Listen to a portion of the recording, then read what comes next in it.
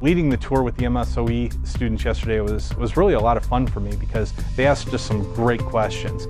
Uh, in, in both of the lab areas that we toured, uh, they were getting up close, looking at what we were up to, looking at our equipment, looking at how we did things, and asking some, just some really great questions. I'm part of the NASA RMC team, um, which does a simulated mining program, um, which simulates mining on Mars.